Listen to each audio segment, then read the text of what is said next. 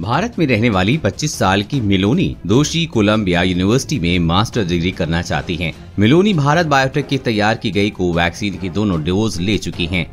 लेकिन दिक्कत यह है कि कोवैक्सीन को अभी तक डब्ल्यू से अप्रूवल नहीं मिला है। इसलिए कोलंबिया यूनिवर्सिटी की ओर से उनसे कहा गया है कि जब वो कैंपस में आएँगी तो उन्हें दोबारा वैक्सीन लगवानी होगी। हालाँकि अभी इस बारे में कोई भी एक्सपर्ट या डॉक्टर ये नहीं कह रहे हैं कि दोबारा वैक्सीन लगवाना कितना सेफ़ होगा। मिलोनी दोषी अकेली नहीं है, जिनमें ऐसा कहा गया है। बल्कि ऐसे लाखों छात्र छात्राएँ हैं जो को वैक्सीन और स्पुतनिक वी की दोनों डोज ले चुके हैं, लेकिन उनसे अमेरिका आने पर फिर से वैक्सीन लगवाने को कहा गया है।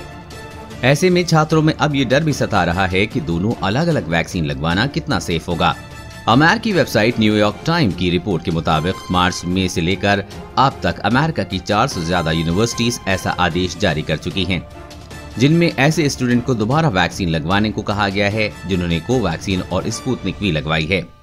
ऐसा इसलिए क्योंकि इन दोनों ही वैक्सीन को अभी तक डब्ल्यू की तरफ़ से अप्रूवल नहीं मिला है। इन सब के अलावा एक दूसरी बड़ी समस्या ये है कि अगर पहले ही कोवैक्सीन या स्पुतनिक वी की दोनों डोज ले चुके हैं तो दोबारा से दूसरी वैक्सीन लगवाना कितना सेफ़ होगा?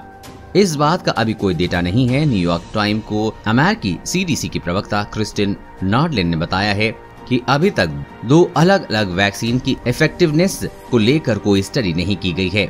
हालाँकि वो ये सलाह ज़रूर देती हैं कि जो छात्र वैक्सीनेट हो चुके हैं और उन्हें फिर से ओ अप्रूव वैक्सीन लगवानी है तो कम से कम 28 दिन का गैप रखना चाहिए।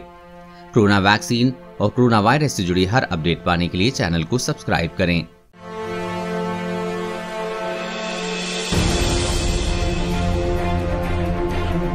thank you